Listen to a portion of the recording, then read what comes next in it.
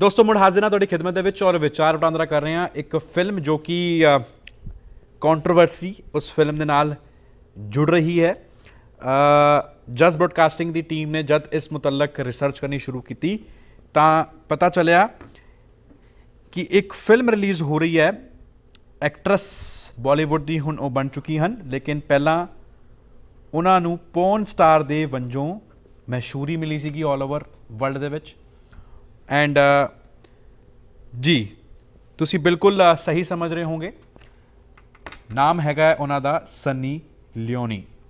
ਲੇਕਿਨ ਹੁਣ ਉਹਨਾਂ ਦੀ ਇੱਕ uh, ਬਾਇਓਪਿਕ ਰਿਲੀਜ਼ ਕਰ ਰਹੀ ਹੈ G5 ਵੱਲੋਂ, ਯਾਨੀ ਕਿ Z ਗਰੁੱਪ ਐਸਐਲ ਗਰੁੱਪ ਹੈਗਾ।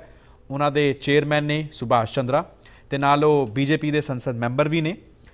ਕਿਰਨਜੀਤ ਕੌਰ ਦੇ ਨਾਂ ਤੋਂ ਉਹਨਾਂ ਦੀ ਬਾਇਓਪਿਕ ਰਿਲੀਜ਼ ਹੋ ਰਹੀ ਹੈ ਤੇ ਵੱਖ-ਵੱਖ ਸੰਸਥਾਵਾਂ ਨੇ ਆਪਣੀ ਇਤਰਾਜ਼ ਉਹਨਾਂ ਨੇ ਜਤਾਇਆ ਕਿ ਸਨੀ ਲਿਓਨੀ ਦੇ ਨਾਂ ਕਿਉਂ ਨਹੀਂ ਯੂਜ਼ ਕਰਿਆ ਜਾ ਰਿਹਾ, ਜੋ ਉਹਨਾਂ ਦਾ ਨਾਂ ਹੈ, ਜਿਸ ਕਰਕੇ ਉਹ ਮਸ਼ਹੂਰ ਹੋਈ ਹੈ 올 ਓਵਰ ਵਰਲਡ ਦੇ ਵਿੱਚ, ਕਿਉਂ ਉਹਦਾ ਨਾਂ ਕਿਰਨਜੀਤ ਕੌਰ ਯੂਜ਼ ਕਰਿਆ ਜਾ ਰਿਹਾ?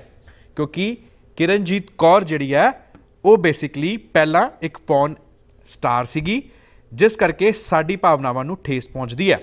ਇਸ ਮੁਤਲਕ ਦਿੱਲੀ ਸਿੱਖ ਗੁਰਦੁਆਰਾ ਪ੍ਰਬੰਧਕ ਕਮੇਟੀ ਦੇ ਜਨਰਲ ਸਕੱਤਰ ਮਨਜਿੰਦਰ ਸਿੰਘ ਸਿਰਸਾ ਨੇ ਐਸਐਲ ਗਰੁੱਪ ਦੇ ਚੇਅਰਮੈਨ ਸੁਭਾਸ਼ ਚੰਦਰਾ ਨੂੰ ਇੱਕ ਲੈਟਰ ਵੀ ਲਿਖਿਆ ਮੈਂ ਲੈਟਰ ਤੁਹਾਨੂੰ ਜ਼ਰੂਰ ਪੜ੍ਹ ਕੇ ਸੁਣਾਣਾ with extreme regret and anger I was to echo the 6 sentiments that have been heard with your go ahead given to biopic series of Sunny Leone once life with the name of Kiranjit Kaur The untold story of Sunny Leone premiering on Z5. Z5 ਇਹਨਾਂ ਦਾ digital channel ਹੈ Z ਵਾਲਿਆਂ ਦਾ 16 ਜੁਲਾਈ ਨੂੰ ਇਹ biopic release ਹੋਣੀ ਹੈ ਤੇ ਨਾਲ ਉਹਨਾਂ ਨੇ ਲਿਖਿਆ ਹੈ being a North Indian with deep understanding of Punjabi way of life this comes as a shock that you allowed the biopic with the name Kaur to be aired on your network.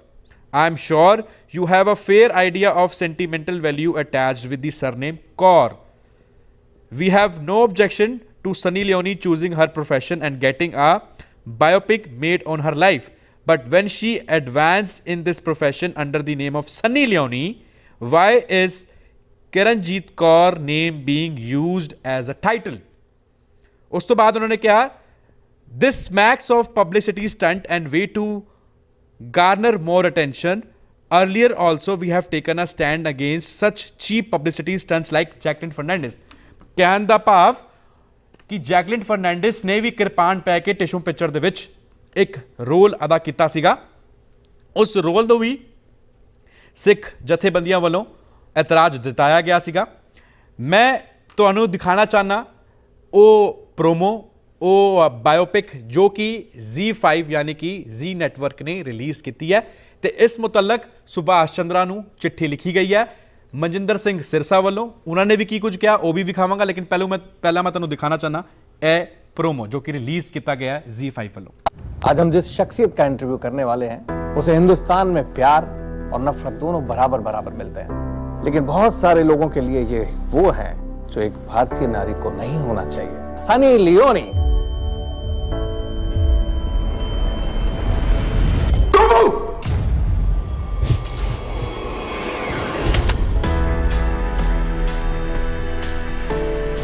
Oh my gosh. Look at her. She's growing a national forest.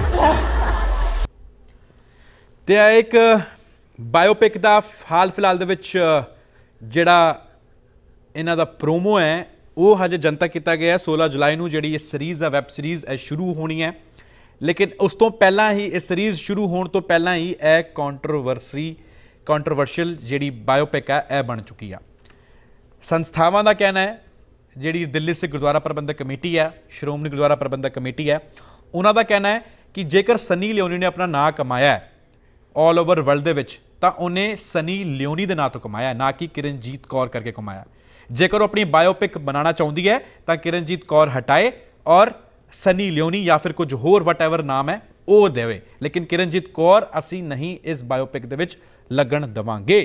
ਕੀ ਕੁਝ ਕਿਹਾ? Delhi Sikh Gurdwara Prabandhak committee ਦੇ general ਸਕੱਤਰ ਮਨਜਿੰਦਰ ਸਿੰਘ ਸਿਰਸਾ ਅਤੇ ਵਿਧਾਇਕ ਮਨਜਿੰਦਰ ਸਿੰਘ ਸਿਰਸਾ ਨੇ ਇਸ ਮੁਤਲਕ। ਆਓ, ਉਹ ਵੀ ਸੁਣ ਲੈਂਦੇ ਹਾਂ ਇੱਕ ਵਾਰੀ। ਜੀ, ਸਾਡਾ ਇਤਰਾਜ਼ ਕੇਵਲ ਇੰਨਾ ਹੈ ਕਿ ਜਿਹੜਾ Kiranjit Kaur to Sunny Leone ਜੋ ਨਾਮ ਲਿਖਿਆ ਹੈ, ਕਿਉਂਕਿ ਸਨੀ ਲਿਓਨੀ ਦਾ ਕੀ ਪ੍ਰੋਫੈਸ਼ਨ ਆ, ਸਾਨੂੰ ਉਹਦੇ ਨਾਲ ਕੋਈ ਮਤਲਬ ਨਹੀਂ। ਉਹਦਾ ਪ੍ਰੋਫੈਸ਼ਨ ਅੱਛਾ ਸੀ, ਬੁਰਾ ਸੀ, ਉਹਦੀ ਆਪਣੀ ਮਨਮਰਜ਼ੀ ਦੇ ਉੱਤੇ ਸੀਗਾ। ਸਾਡਾ ਇੱਕ ਹੀ ਇਤਰਾਜ਼ ਆ ਕਿ ਜਿਹੜਾ ਉਸ ਦਾ ਹੁਣ ਬਾਇਓਪਿਕ ਬਣ ਰਹੀ ਆ, ਉਹ ਉਸ ਦੇ ਜੋ ਟਾਈਟਲ ਆ, ਉਹਦਾ ਨਾਮ ਉਹਦੇ ਅੰਦਰ Kiranjit Kaur to Sunny Leone ਰੱਖਿਆ। ਹੈ ਜਦੋਂ ਕਿ ਜਦੋਂ ਇਹ ਪ੍ਰੋਫੈਸ਼ਨ ਅਡਾਪਟ ਕੀਤਾ, ਉਹਨੇ ਆਪਣੀ ਮਨਮਰਜ਼ੀ ਨਾਲ ਆਪਣਾ ਨਾਮ ਡ੍ਰੌਪ ਕੀਤਾ ਸੀ ਔਰ ਸਨੀ ਲਿਓਨੀ ਨਾਮ ਰੱਖਿਆ ਸੀਗਾ।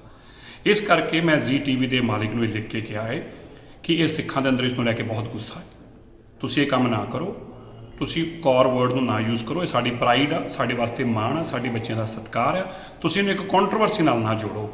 ਔਰ ਇਸ ਕਰਕੇ ਉਹ ਜੋ ਮਰਜ਼ੀ ਤੁਸੀਂ ਬਣਾਓ, ਜੋ ਮਰਜ਼ੀ ਤੁਸੀਂ ਦਿਖਾਓ, ਲੇਕਿਨ ਕੋਰ ਵਰਡ ਨੂੰ ਜਿਹੜਾ ਹੈ ਤੁਸੀਂ ਆਪਣੇ ਟਾਈਟਲ ਚੋਂ ਰਿਮੂਵ ਕਰੋ, ਨਹੀਂ ਤੇ ਸਿੱਖਾਂ ਦਾ ਗੁੱਸਾ ਇੰਨਾ ਹੈ, ਤੁਹਾਨੂੰ ਵੀ ਤੁਸੀਂ ਵੀ ਉਸ ਗੁੱਸੇ ਦੇ ਸ਼ਿਕਾਰ ਹੋ ਸਕਦੇ ਜੇ, ਇਹ ਮੈਂ ਉਹਨਾਂ ਨੂੰ ਦੱਸਿਆ ਮੈਨੂੰ ਉਮੀਦ ਆ, ਅੱਜ ਉਹਨਾਂ ਨਾਲ ਮੇਰੀ ਗੱਲ ਵੀ ਹੋ ਰਹੀ ਸੀ, ਉਹਨਾਂ ਨੇ ਮੈਨੂੰ ਕਿਹਾ ਹੈ ਕਿ ਉਹ ਆਪਣੇ ਥੱਲੇ ਸਿਸਟਮ ਨੂੰ ਕਹਿ ਰਹੇ ਨੇ, ਜਿਨ੍ਹਾਂ ਨੇ ਬਣਾਇਆ ਹੈ, ਉਹਨਾਂ ਨੂੰ ਗੱਲਬਾਤ ਕਰ ਰਹੇ ਨੇ। ਮੈਨੂੰ ਉਮੀਦ ਆ ਉਹ ਇਸ ਭਾਵਨਾ ਨੂੰ ਸਮਝਣਗੇ, ਨਹੀਂ ਸਮਝਣਗੇ ਤਾਂ ਉਹਨਾਂ ਨੂੰ ਗੁੱਸੇ ਨੂੰ ਫੇਸ ਕਰਨਾ ਪਊਗਾ।